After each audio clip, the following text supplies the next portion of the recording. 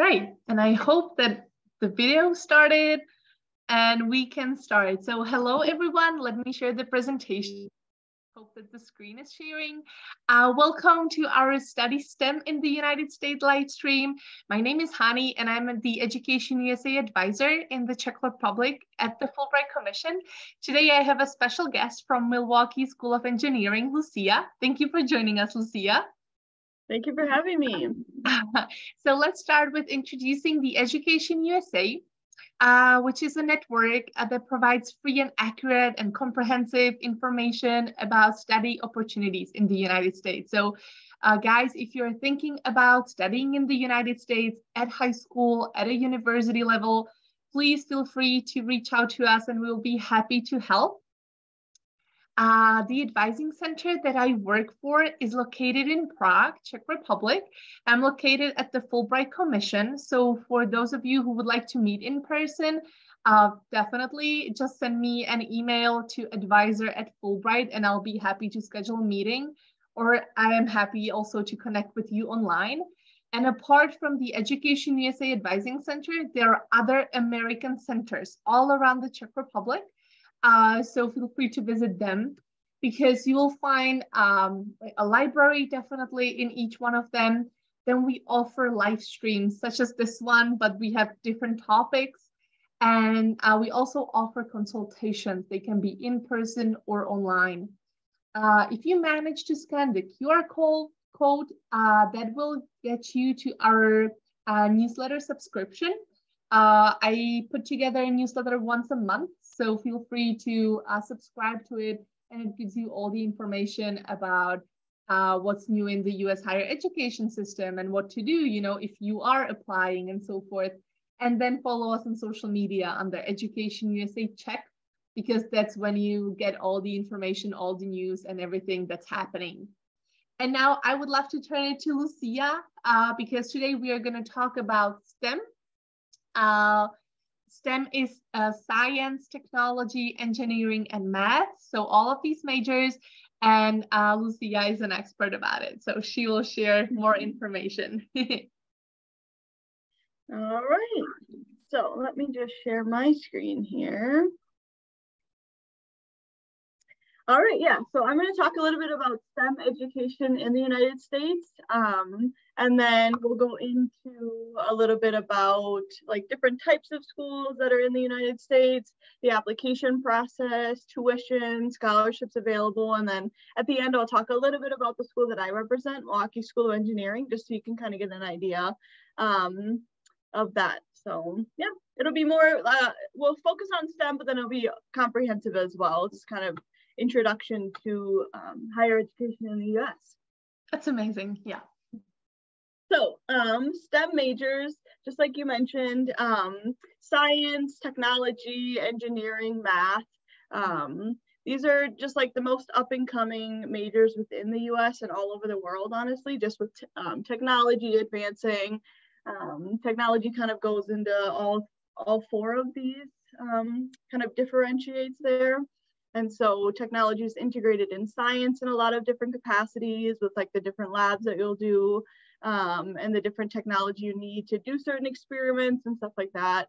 Um, technology is very integrated in engineering and you use technology with basically everything you do within engineering and then math as well. Um, you know, we're not computing equations on a piece of paper as much anymore. You know, we're using technology to to have it do the hard work for us, and then we're just kind of analyzing whatever um, the technology is using. And then technology itself, you know, whether it's building computers or doing IT or information technology stuff, um, it's just expansive that way. So.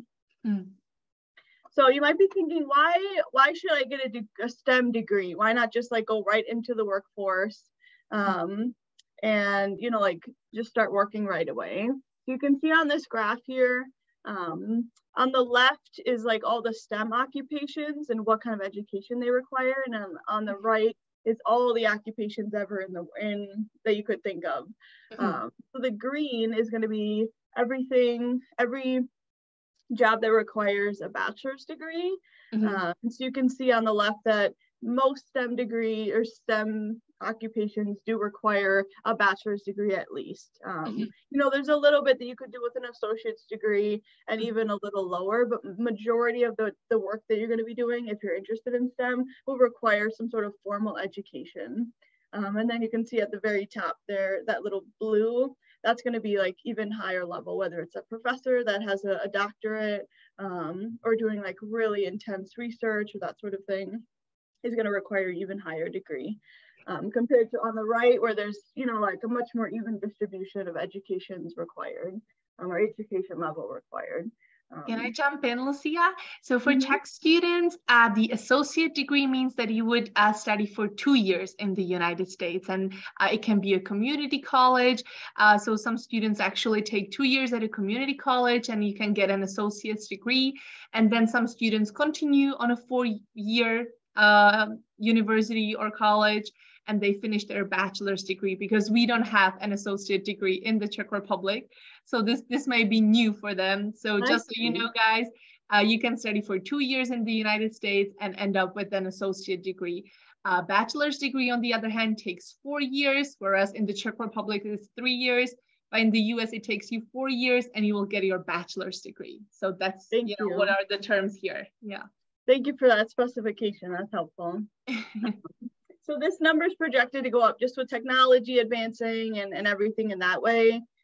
The number is just going to go up even higher. That will require like formal education in that capacity. Mm-hmm.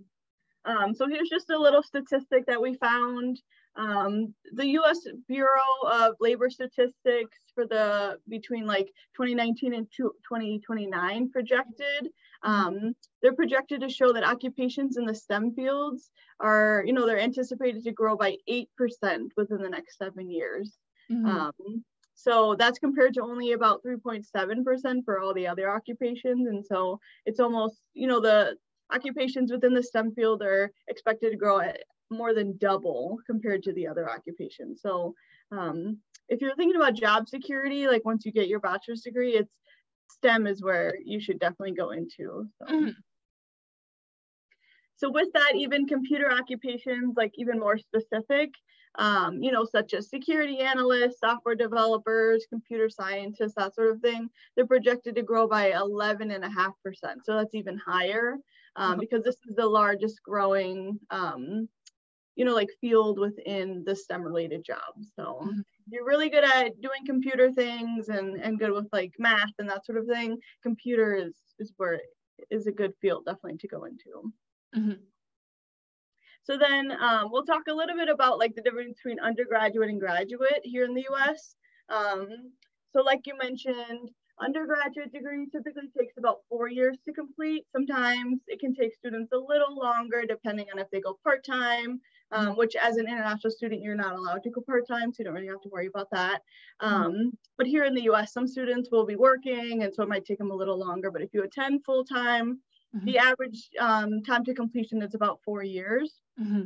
And that's taking at least 12 credits per term. Mm-hmm. Um, that's considered full-time, which you have to remain full-time on an F1 visa, which is mm-hmm. what you could, you know, be studying here in the US on. Um, and then you need at least a, a, high school education to be qualified to be admitted into an undergraduate um, mm-hmm. program. Mm-hmm. And then the difference between that and a graduate program is that you need to have at least a bachelor's degree, mm-hmm. um, or if you complete your bachelor's degree in the Czech Republic, um, we tip, we personally require a WES evaluation, which is like a third party company who will evaluate your, your degree from another country and determine what it's equivalent to on a US mm-hmm. education system. Um, so if it's three years, but we would recognize it as a bachelor's degree, that WES evaluation would be what um, would determine that for us because we're not knowledgeable about every education system in the US. And so we mm-hmm. would uh, use that third party company. Mm-hmm. And then full time for a graduate student is um, nine credits. So mm-hmm. typically each class is only about three credits, whereas in an undergraduate it's about four credits. So it's just a little mm-hmm. bit different that way. Typically, mm-hmm. and typically the classes are a little bit more challenging too. So a full course load is going to be a little less credits, um, just because mm-hmm. it will take you a bit longer to, to get the content. Mm-hmm, mm-hmm. And then a graduate degree on average is about two years to complete as well. Again, it might be a little quicker, it might be a little longer depending on what degree specifically you're looking to obtain, um, but on average, it's about two years to complete. Mm-hmm. So once you get your bachelor's degree, um, you know, you have two kind of main options. You can either go right to graduate school to obtain your master's degree, um, which, you know, there's a lot of different master's degrees, whether it's in business, like an MBA, um, a Master of Science in Engineering Management. There's more um, specific programs, like if you want to even grow on the, the information that you learned in your undergrad, you can be more specialized in your graduate degree. Mm-hmm. Or you can just work right away in the field of study. Mm-hmm. Um, so typically, um, especially majors like programs in the STEM fields are going to prepare you really well for just going right into the, your field of study. You don't mm-hmm. necessarily need a graduate degree um, for these because you're doing a lot of like hands-on learning in your undergraduate program. You typically are ready to just jump right in and um, you know work in your field of study right away. What's really interesting regarding international student is that OPT, you know, after studying mm-hmm. STEM, are we are we going to talk about it or can we bring it up now? Sure, yeah, we can talk about it now. Mm-hmm. So it's actually for you guys, it's optional practical training that allows you to stay in the United States after you finish your bachelor degree studies, potentially. And when it's a different major other than STEM, you can stay up to one year. But if it's a STEM major, you can stay up to two years and work basically in, in the field of what you studied. So that allows you to stay two more extra years in the United States and work in the field that you studied in, which is a great deal. Uh, other students who are not a STEM major can stay only up to one year, and then you know they have to apply for a different visa or come back to the Czech Republic. So optional practical training, because sometimes you ask me, you know, what to do when I finish my bachelor's degree. If you study a STEM major, you can then stay for two years and uh, get some practical training there as well. Yeah. Mm-hmm. Thank you.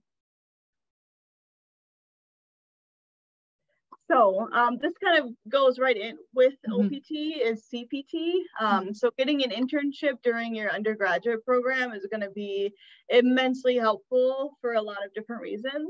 Mm-hmm. Um, because employers, whether they're in the U.S. or, or wherever you're looking to get, you know, work, are going to look for students who have that real world experience mm-hmm. um, and who have already, you know, had experience working in the field. And so when you're looking at schools to attend in the United States, make sure that you ask your admissions counselor or whoever you're contacting about CPT. So mm-hmm. CPT is curricular practical training, um, and that is what you can do while you're actually still studying. So mm-hmm. OPT is for when you already graduated, but CPT is during um, mm-hmm. your graduate studies. And so make sure you ask about that and what's available and like what other students have done in that capacity. Um, and then it also just helps with networking. Um, so you're going to meet a lot of different people once you're, you know, working at an internship, and it allows you to make those connections. And even if they can't, you know, employ you at their current you know, uh, occupation. They might know somebody at a different company who's looking for somebody um, who they could maybe match you up with. Um, so it's just a really good networking opportunity. And then it's also really good for career development. So it allows you to kind of explore the field because um, typically with any you know study that you do any major or degree it's not just going to be like one specific job that you're eligible for you are probably qualified for a lot of different jobs within your field and so it allows you to kind of explore and see what you like to do and maybe what you would not like to do quite as much within your field. Um, so it's a nice way to just kind of get like a sample of the job before you'd actually commit and you know be working there full time. Mm-hmm. So it's really nice. It allows you to grow personally as well, you know, experience a professional atmosphere and that sort of thing. And then it also gives you a competitive edge against other students who maybe haven't had internship experience. Um, so they'll have to do a lot more like on the job training versus you who has already had that during their undergraduate studies and can just be employed right out of college and and kind of hit the ground running is kind of a saying we hear say in the US here. So So just another quick statistic that we found, 72.2% um, of college graduates with internship experience got a job offer, um, in contrast to only about 36.5% for those who didn't complete one. So mm-hmm. your chances of getting a job um, after graduating is almost double if you have some sort of internship. So it's just really important um, to look for that when you're looking at what school to attend. Mm-hmm. So there's a couple different ways you can find internships. Um, a lot of schools will have a career fair where you can um, interview with a lot of different uh, companies and they're right on campus. So that's really convenient. You don't have to like drive to all these different companies to interview. Um, and it allows you to kind of get a sampling of, of different career options that are out there and what kind of internships opportunities there are all in one location, which is really nice.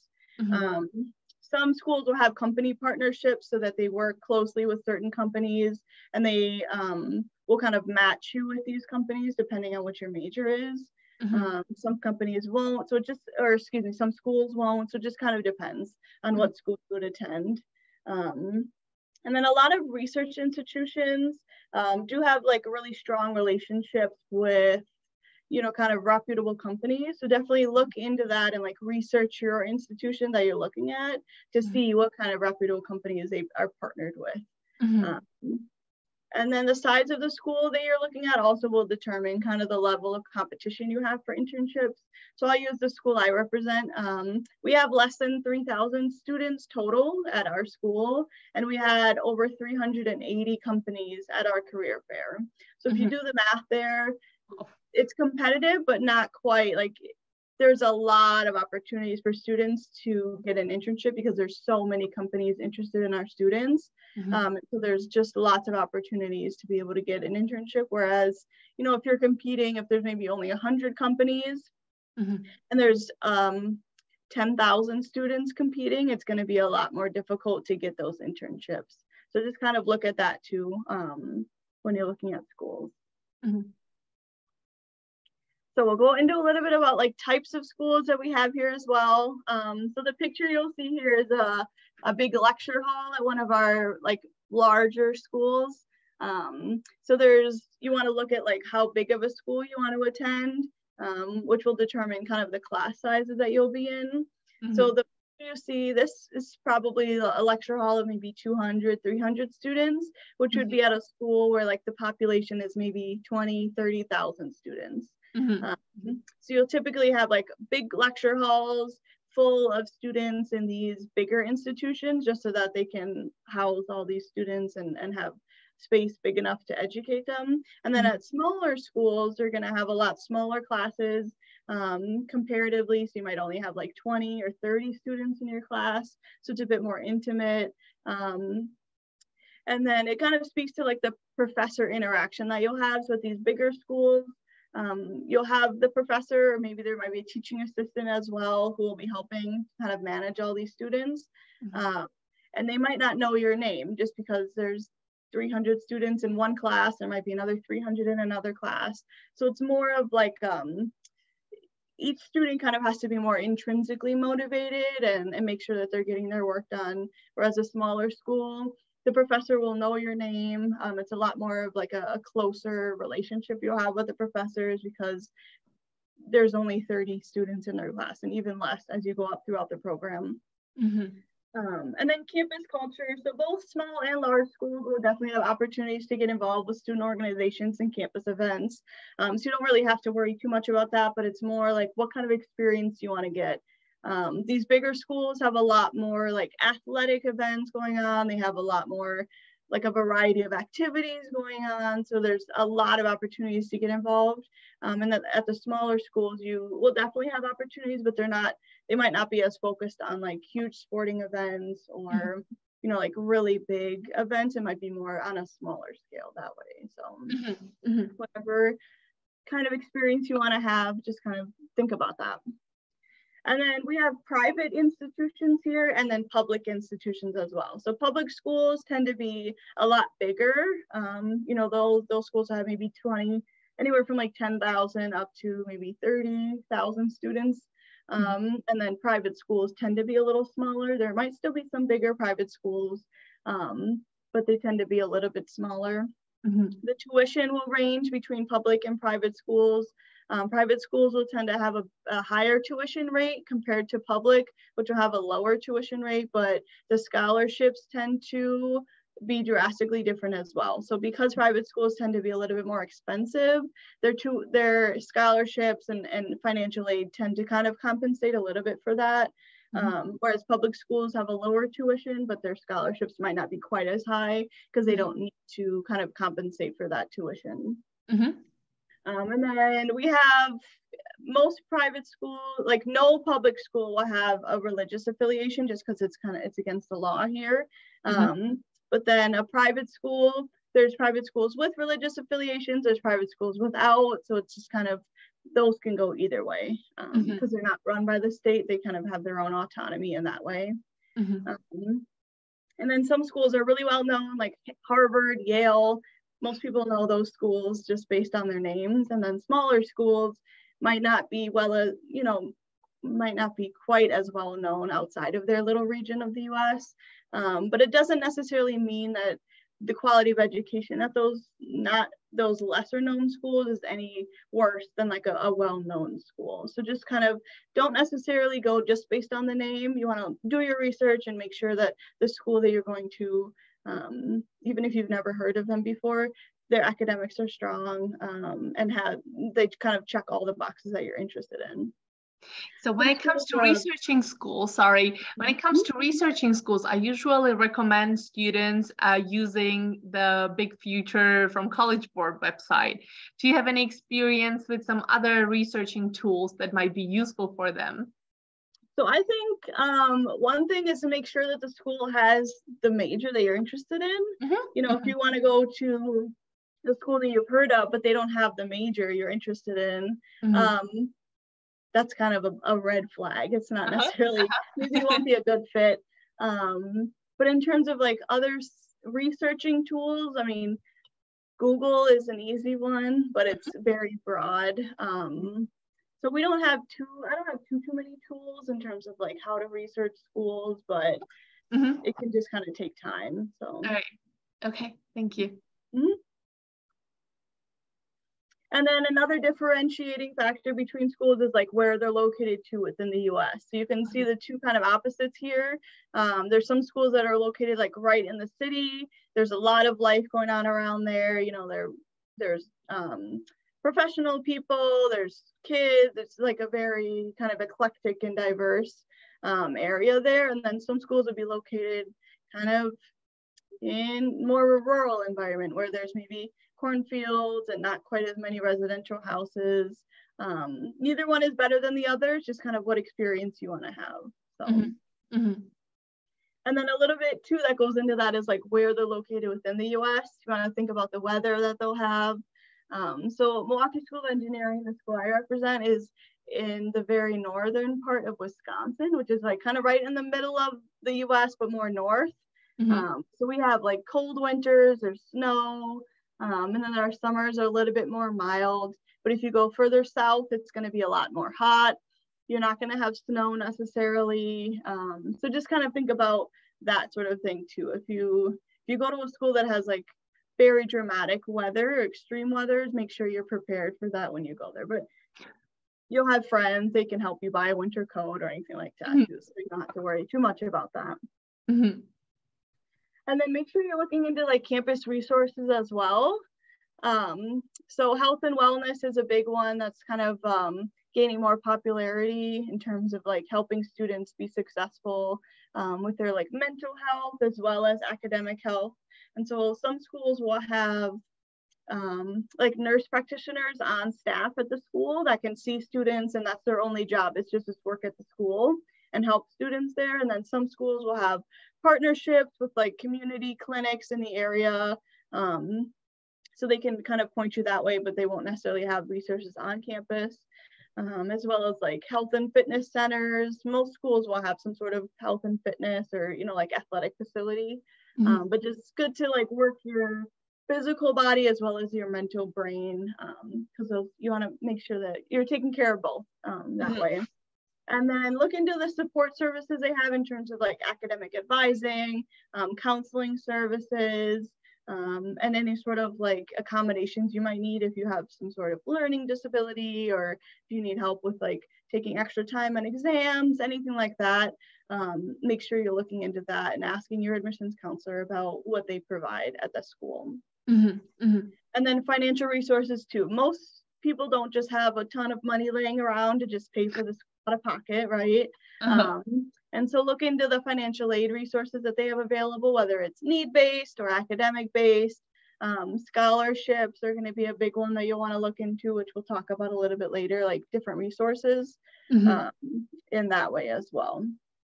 What are VA services? That's going to be more for like veteran associations. Um, so it's going to be more for like domestic students, but okay. um, yeah. Okay, thank you.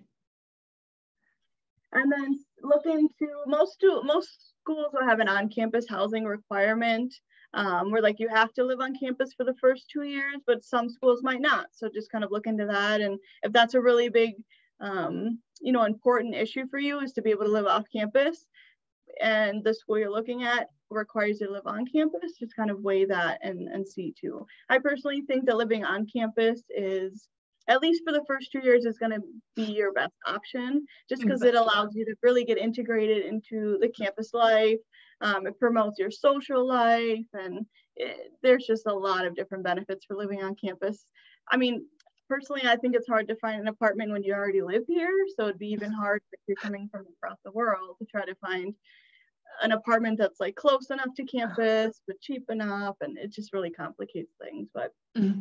mm-hmm. And then one thing I kind of like to highlight is um, resident assistants. I don't know if you guys have this in the Czech Republic, but um, so typically you're not eligible to do it as a first year student. You typically have to be at the school for at least one year before you would apply. Mm-hmm. But it's um, every like residence hall of every floor will have a resident assistant and they are hired by the school. It's a current student and they are kind of like the, the main resource for students on that floor. Mm-hmm. So they, you know, if there's any sort of maintenance ticket, um, they will host different like events to kind of bring the community together, anything like that. Just kind of, I like to think of them kind of as like the mom of that floor because they really take care of the floor and make sure everything's going smoothly. Mm-hmm. Um, everyone's being safe and accounted for in that way. And then it, for compensation of like doing all those duties, you get free housing and free meals. So it's a that really a great deal. Yeah, it's a really good option for you know cutting your costs down, but also getting like some work experience as well because it is a job. Um, and then typically you can get another job in addition to it because it's not like a 24/7 type of job. It's just like when you're on duty and then when you're in your in your room. Um, so it's a really very a very good option, I would say.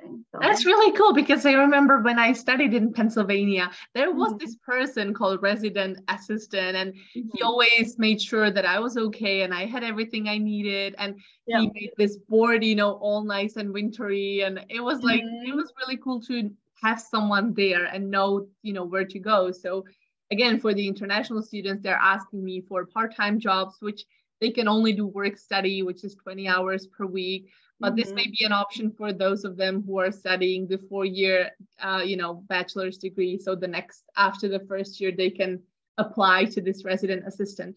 Uh, can you just like help us where to apply, or is that the admission office that would give us any more information, or yeah, it would likely be through the like residential life office. Mm-hmm. So they mm-hmm. handle all of the, you know, like dorm assignments and, mm-hmm. and on campus housing.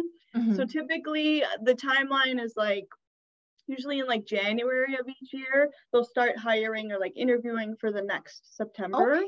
Mm-hmm. So it's, you know, like after about one semester of study is when they'll start looking. Um, and you don't have to do it every year. You could apply um, to do it just your junior, senior year. You could do it one year, all three. Um, some schools it's going to be a little bit more competitive because there's going to be a lot more students wanting to do it. Um, but I think international students are, you know, like have a unique position at a university. And so they would likely be kind of a better hire than than other students because they're mm-hmm. able to, you know, kind of give a different outlook and, and I, I just think international students would be a little bit more competitive in in getting one of those positions. So cool. Mm-hmm. Yep. So we kind of already talked a little bit about this of like on-campus housing, all your tuition would be, or excuse me, all of your expenses like um, Wi-Fi, utilities, meal plan, all that would be included with like your room and board costs. Promotes mm-hmm. your social life. There's a shorter commute, obviously, because you're already living on campus. You don't necessarily have to drive to school. Um, so those are just kind of some perks of living on campus. And then there are, you know, some perks of living off campus as well. Maybe in your junior, senior year, once you're like really established at the university, um, you have a little bit more privacy, you have more options of like where to live. And then usually you sign a year-long lease rather than just like during the academic school year. So that that is an advantage. You know, if you're doing an internship over the summer, that would be nice to be able to still be able to live in your in your apartment. Mm-hmm not to say, so even if you live on campus, usually you can live in the dorms over the summer as well. You just have to make kind of special accommodations with your resident um, advisor. So. Mm-hmm. So a little bit about the application process. There's kind of two main application um, kind of models that the US schools follow. One of them is rolling admissions, where there's not really a deadline for you to apply by. They're always accepting applications, always accepting students as they receive their application and supporting documents. Um, so you typically will apply, you know, send all your documents in, and then they can usually have an admission decision pretty quickly within, you know, one to two weeks because they're always accepting applications um, mm-hmm. compared to like a regular admissions process where they're maybe collecting applications for a few months and then they have a deadline and then at that deadline then they'll make a decision at once for all the students that applied this is going to be more popular for programs that are more competitive to get into where they maybe only have a certain number of spots available mm-hmm. so they want to pick the best candidates versus like the first ones to apply mm-hmm. um, so those are kind of the, the two main so is there any advantage of applying into the rolling admission, like first come, first serves, or what is the deal with the rolling admissions? So rolling admission is just, it's a lot more of like an open application process. So there's, mm-hmm. um, it's kind of a, a nice because you can apply at any time. So maybe mm-hmm. you apply to a couple schools that have that regular admission process and and you don't get in. There's mm-hmm. still all these schools that have rolling admissions. You could still apply and get admitted to them. Great. Mm-hmm. It's, nice that way. Mm-hmm. And then here's just some of the, you know, traditional application requirements for schools. Obviously, the application has needs to be on file. Sometimes they're free. Sometimes they have an application fee. It just kind of varies school to school. Um, test scores are tend to be a little bit more optional lately with mm-hmm. like post COVID. Um, but if you have an SAT score, that's definitely good to to submit because it will just make your application a bit stronger. Mm-hmm. Transcripts, we want to see, you know, that you're academically prepared to study. Some schools will require letters of recommendation. Some will have an essay requirement. Um, if you're studying in the US, we need to make sure you speak proficient English. So we need some sort of English proficiency exam, whether it's TOEFL, IELTS, um, if you attended some sort of like international school where all of your classes are taught in English, the mm-hmm. requirements kind of vary school to school on what they'll accept. Um, but then we'll need a copy of your passport and a financial guarantee. Typically, you don't need that to make an admission decision. Typically, we need that like afterwards to, to process your I-20. Mm-hmm.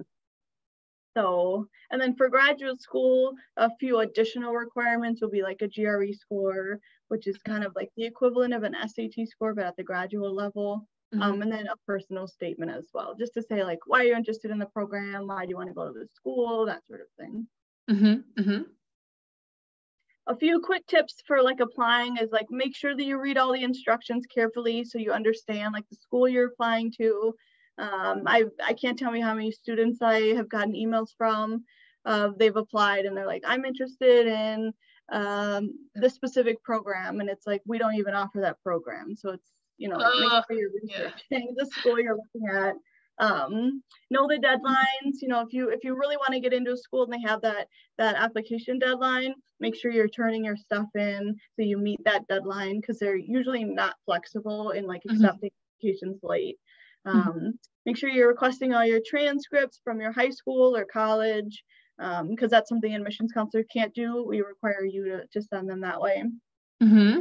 And then provide like all the information that's needed, you know, in a, a clear manner and make sure you proofread so there's no typing errors or grammatical errors, or anything like that. You can have maybe a friend or a family relative look at look through your application to make sure everything looks good. Mm-hmm. A few quick tips about like how to have a competitive um, application. This is going to be more applicable for, you know, like the the schools that have an application deadline where they're picking the best students versus mm-hmm. like rolling admission. Mm-hmm. Um, but it's going to be really helpful if you exceed the admissions requirements. So if they have, you know, like a a 3.0 um, cumulative grade point average requirement and you have a 3.5, 3.7, that's going to make your application a lot stronger. Um, mm-hmm. Same with like SAT scores, ATC, ACT scores, GRE. If your test scores are even higher than the required, that's going to make yours more competitive. Mm-hmm. Um, a lot of schools are looking holistically too to make sure that you're, you know, a good person as well as strong academically. So mm-hmm. if you can showcase any sort of community involvement or community service you've done, um, that's, you know, help your application as well. And mm-hmm. then, you know, admissions counselors are reading hundreds of applications, essays. So if you can make yours unique, I know it's a little easier said than done, um, but just make your essay a little unique so that we it will kind of stick out across other students. Mm-hmm. That's also going to be an advantage. And then try not to wait till like the very last minute to turn everything in just because you know you might have some sort of error that you know you're not able to turn your application in for what, mm-hmm. whatever reason mm-hmm. so just leave yourself some extra time and complete it early mm-hmm. All right so a little bit tuition and scholarships. This is going to be a big play a big factor for a lot of students. Mm-hmm. Um, so make sure that you you know know the cost of tuition, living expenses, health insurance um, bef- before you commit to attending a school. You want to make sure that you can afford it. Um, for the I-20, which is a document that like the school will, will issue so mm-hmm. that you can then interview for the visa. Um, we, you have to show proof of at least one year that you can pay for like one year of study. Um, but we've had so many students come here and they can pay for that first year and then the other three years they haven't you know they've spent all their life savings on that first year and so make sure you can spend you know you can afford to attend it for all the years of study because there's nothing more devastating than having to tell a student like that they can't continue just because you know they didn't plan financially mm-hmm. they didn't you know expect that so it's it's very very difficult conversation to have so just make sure that you you know factor all that in when you're looking at a school mm-hmm. um, and this is just an example of of the financial guarantee that we send students to fill out um, so it just kind of shows where the funds are coming from so mm-hmm. we can note that on the i-20 because the government will want to see like how are you paying for this for the school mm-hmm. um, to make sure you're not like a burden on the us in that way so health insurance is mandatory on the f1 visa so um, make sure you factor that in as well. You can mm-hmm. either bring your own health insurance, you can purchase health insurance from the school you're attending, mm-hmm. um, either way. So, mm-hmm. and then there's a, a, couple different types of aid that you want to watch for. Um, scholarships are going to be the best ones to get because those mm-hmm. are that's all free money. Um, it does not need to be paid back. It's often based on like your merit, whether that's like um, your test scores or your academics, you know, like how how you rank within the school. Mm-hmm. Um, talent, sometimes it's like participating in a specific club will get you an extra scholarship. Um, there's lots of different ways you can be um, awarded scholarships. And then grants are kind of similar in that it's also money that doesn't need to be paid back. Um, but it, it comes from like a different source. So it's not necessarily like academic or merit based. It's more tends to be more like um, need-based grants mm-hmm. that come mm-hmm. from the institution. So, and then loans um, is you know borrowing money from mm-hmm. from a bank or whoever that has to be paid back usually mm-hmm. with later. Um, so not the ideal um, you know what way to pay for school, but sometimes it's a necessary evil to be able mm-hmm. to pay. Um, so and then sponsorships too. These are a little less popular, but maybe if you have, you know, a really rich aunt who can pay for your school, that would be considered like a sponsorship. Um, or sometimes some countries will have uh, government sponsorships where they'll pay for certain students to go to school. Um, mm-hmm. Saudi Arabia is really popular for that. Um, but and then work study is a, another option as well. Typically, you can't make enough working on campus to pay for tuition, but it's um, you know a good way to make a little bit of extra money if you want to go to the movies or kind of extra expenses like little things like that because you can only work up to 20 hours on campus um, and they're not like very high paying jobs. It's more kind of like stuff around campus. So. Mm-hmm. Mm-hmm.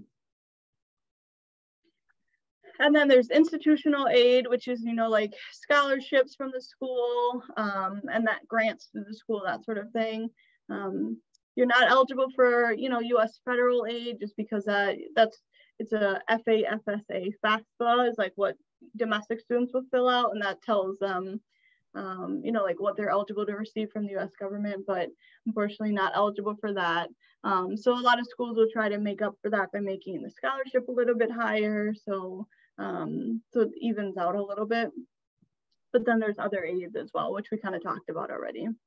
Yeah, and I can add for Czech students, guys, there are Czech foundations that can also help you financially, such as Bakala, Kellner, Nadace Sofia, and so forth. So if you then need these resources, you can find them on our website or just, you know, let me know and I'll be happy to share the list of Czech foundations that uh, are going to help you, you know, financially when studying abroad.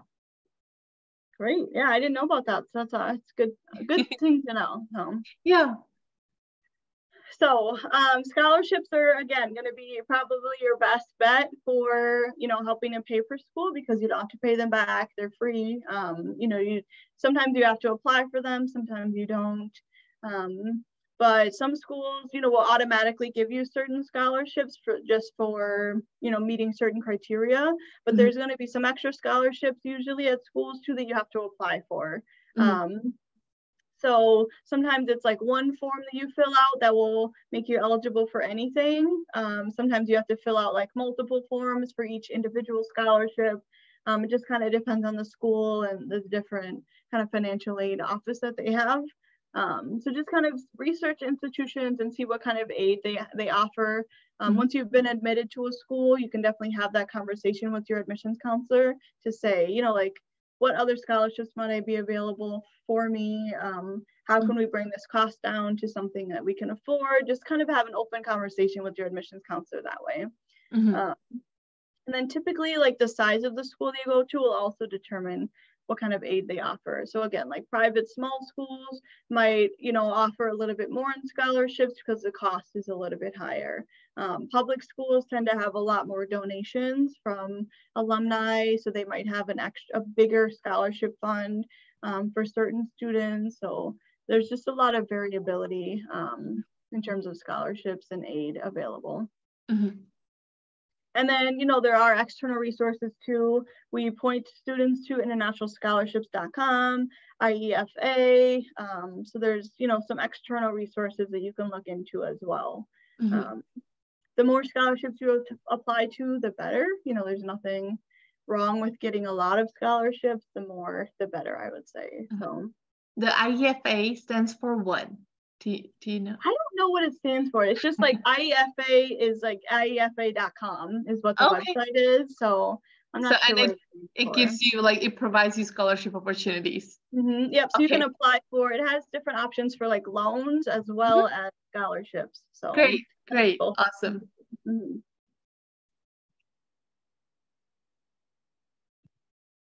So I'll kind of breeze through this quickly because um, the cost of living, depending on where you go to school, is going to really vary um, mm-hmm. from state to state, even city to city can really range. Mm-hmm. Um, but again, health insurance, you want to make sure that you can account for health insurance when you're figuring out like the cost of attending a school. Mm-hmm. Um, whether you want to bring your own health insurance and you know exactly how much that will cost, or schools you can purchase, you know, the rate it can range in cost from like $1,000 a year up to 2,500. It really just depends on the school and what, what health insurance they've partnered with um, within the US. Um, if you're thinking about living off campus, you'll just want to factor in like how much rent would be in addition to how much you spend then on food um, to kind of budget that out. And then transportation, you know, if you want to get a car. Um, how much gas will be, you know, public transportation. It just, it can really vary a lot. Mm-hmm. All right, so to finish it out, we'll talk a little bit about the school I represent. Um, mm-hmm. I'll try to go quick because I know I've been talking for quite a while now.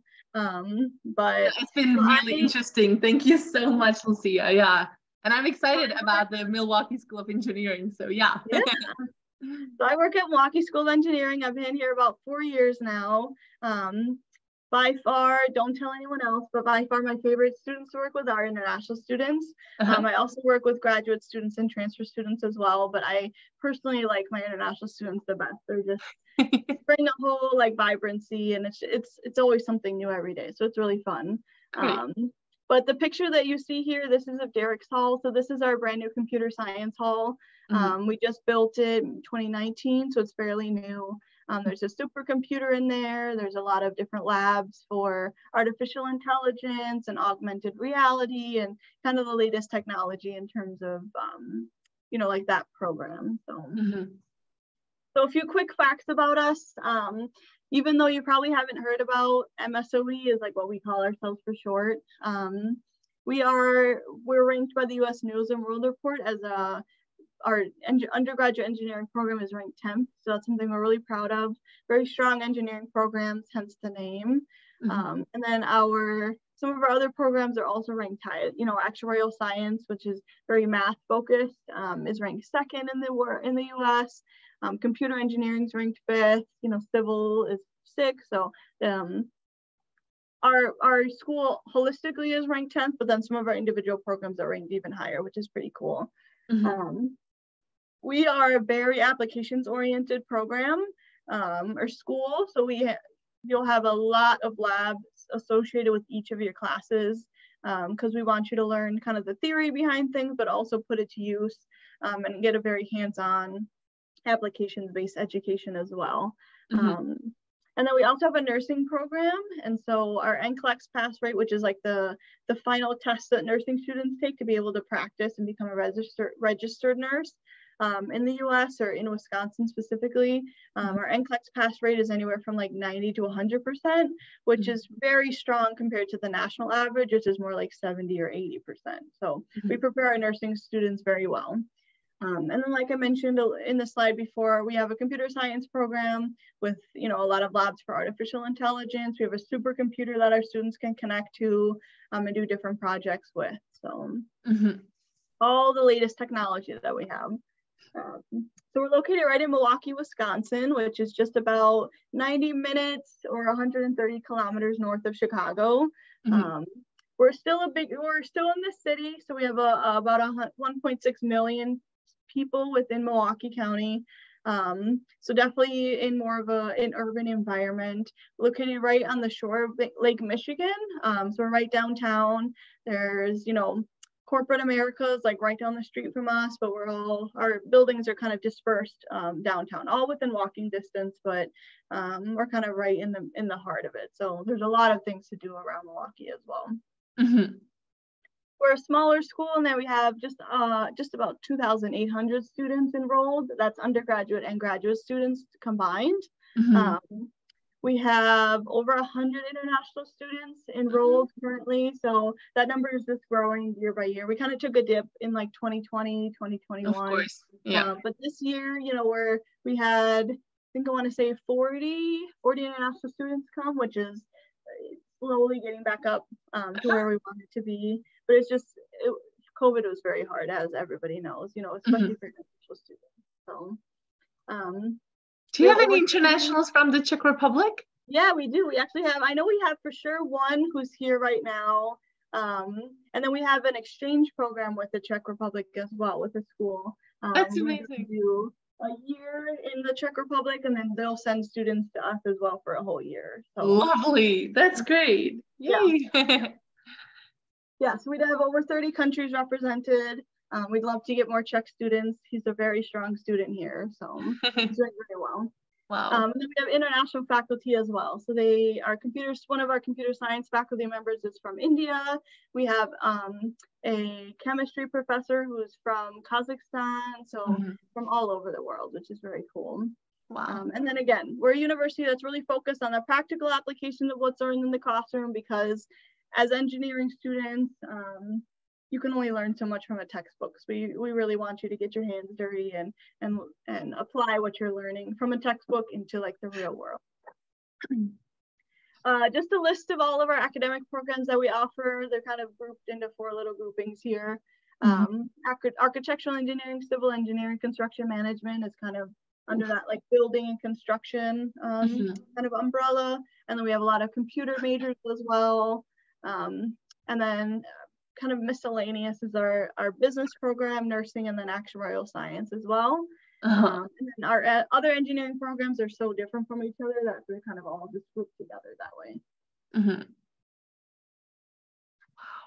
So we are a direct entry institution. Um, so what that means is that from the, you know, from day one, you start taking major specific coursework. Mm-hmm. Um, so that there's no like pre-engineering, pre-nursing, nothing like that. So you start taking engineering, you know, if you're a biomedical engineering student, you would start taking a biomedical engineering class right away from day one. So this is helpful in that it really gets you, you know, able to just be exposed to that professor, to that major like right away. If mm-hmm. you decide maybe this isn't a good fit, you can just switch majors. Mm-hmm. Um, you don't have to wait till your junior year when you actually start taking major specific coursework. You know right away. Mm-hmm. So it's mm-hmm. nice to be able to kind of switch easier and earlier. Mm-hmm. Um, so you'll spend over 600 hours of lab time throughout your four years of study. Um, so you'll spend a lot of time in labs. Most of your engineering classes will have a lab associated with them. The with the exception of like English, you don't necessarily need a lab to learn mm-hmm. that sort of thing. So, and then we have really small class sizes because we're a smaller school. Mm-hmm. Um, the pro- student to professor ratio is about 13 to 1.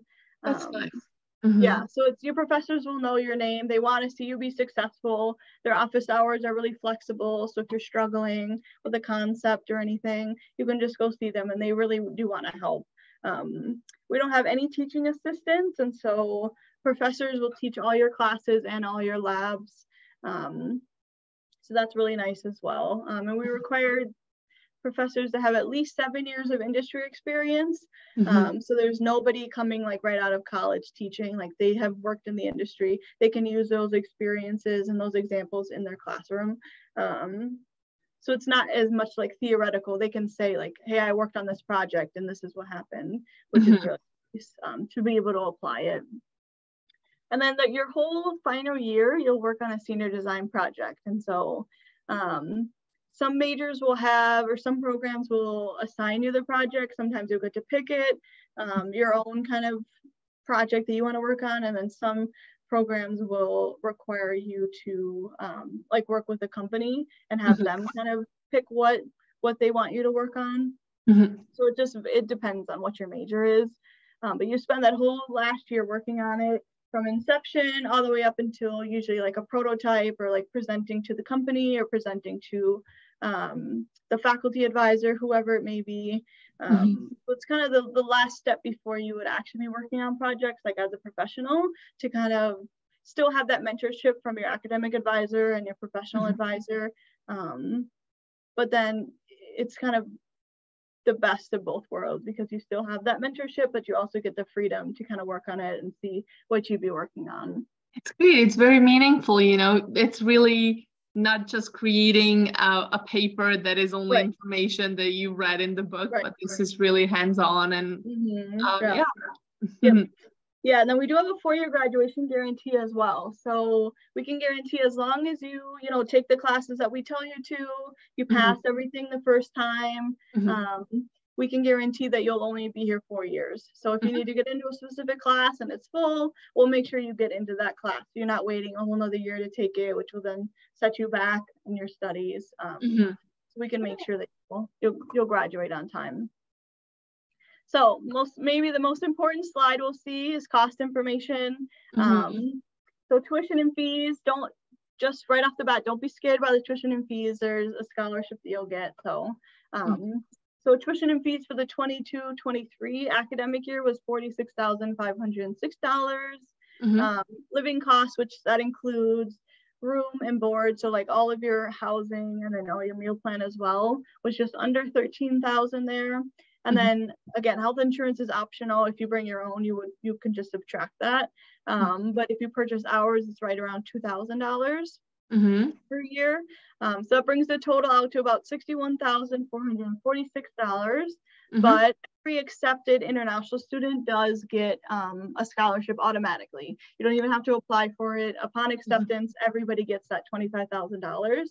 Um, to bring the cost down to about thirty-five thousand per year. Mm-hmm. But you could be eligible for extra scholarships as well. Mm-hmm. Um, mm-hmm. based on like whatever activities you participated in, um, anything like that. Just talk to whoever your admissions counselor is here, mm-hmm. and then we can try to bring that cost down even more if needed. Okay. Um, so the average starting salary, the the return on investment is like uh, I feel like exponential, just because mm-hmm. you're paying a little bit more, um, but the education you'll get and the the average starting salary is you know double what you'd pay in one year so it's you're getting very high paying very very good jobs right after graduating mm-hmm. um, so it's it's definitely worth it i would say um, mm-hmm. and the job placement rate as well because mm-hmm. we're very internship focused and most of our students if not all of them do have some sort of internship mm-hmm. at least one usually they're doing at least two or three during their mm-hmm. time here mm-hmm um, the job placement rate is is just even you know 96% is very high so mm-hmm. Mm-hmm. and then here's just some examples of where msoe graduates work um, davidson is a big one google we've had people work for tesla motors so these are just some of the bigger names but mm-hmm. um, really they work at all different companies um, mm-hmm. doing all kinds of different things it's good to know yeah So then there's a couple different options for living on campus. We personally do require international students to live on campus for their 1st mm-hmm. two years. Mm-hmm. Um, so here's one example of um, the apartment building that we have on campus that students can live in. Um, it's fully furnished, so you get your own bathroom, your own kitchen. Mm-hmm. There's two beds in them, a dresser, you know, like everything like that. And then all utilities are included as well. So this is mm-hmm. kind of a nice um, alternative to the residence halls because it allows you a little bit more freedom to cook your own food and have more independent living, but you're also still on campus and still connected in that way, which is really nice. Mm-hmm. And then here's our three residence halls. Um, Hermann Viets Tower is um, our newest one. It just opened about a year ago. And then um, Margaret Loock Hall is similar, but it's not quite as updated. Um, but it's very typical what you'd see like in the movies of the dorms where there's two people sharing a room and it's community floor, you know, shared bathrooms and that sort of thing. Um, mm-hmm. And Regents Hall is reserved just for our female students. Mm-hmm. Um, it fills up pretty quickly, um, but it's suite style housing. So you have a shared bathroom, and then you have typically four females who share two different rooms. Mm-hmm. So it's kind of a, a nice in between. Mm-hmm. But it's it's tends to fill up pretty quick because it is a nice um, alternative option. Mm-hmm. So a little bit about our admissions requirements. Um, we do require a 3.0 grade point average, and we'll convert it to uh, the U.S. scale, so you don't have to worry about that. Mm-hmm. Um, and then we want to see a really strong math and science background um, because that's going to be like the, the main kind of foundation of all of our programs here is like really heavy in math and science. Mm-hmm. Uh, we don't require the SAT or the ACT, but we do recommend, you know, if you're thinking about taking it, it would it would be helpful, um, mm-hmm. not just for us, but for other schools as well. Mm-hmm. Um, and then we do require either some sort of proof of English proficiency, whether it's a TOEFL or mm-hmm. an IELTS. We do accept Duolingo um, mm-hmm. lately as well, so that's a nice mm-hmm. kind of option for students too. Um, and then again, we don't need the financial guarantee or the passport to make the admission decision, but after you've been accepted and you know once you decide where you want to attend, that's when mm-hmm. we would get that those two documents. Um, okay. Our application is free online, so you can just fill it out if you go to our website. It only takes about 10 or 15 minutes to fill out, so it's pretty easy. That's cool. Do you also accept um, Common Application? You, we do accept Common App as well. Mm-hmm. Yeah. Okay, yep. perfect. Yep. Mm-hmm. So yeah, so then the next steps would just be to apply. Um, here's my contact information, which I can stop sharing my screen if you want to show both of ours. Um, then we can certainly do that. But yeah, do we have any questions? Uh, I don't see any right now, but if there are any follow-up questions, guys, please uh, type them underneath the live stream and we will be happy, Lucia or myself, to reply either via email or underneath the live stream. But I don't need to share any screen. So guys, this has been streaming on our social media. So please leave any comments, leave any questions. And Lucia, thank you so much for introducing uh, your school and for uh, just you know the the STEM major is really interesting and thank you for just joining us today. It was really yes, thank you for having me. Awesome. So thank you guys and please leave us any comments or questions that you might have.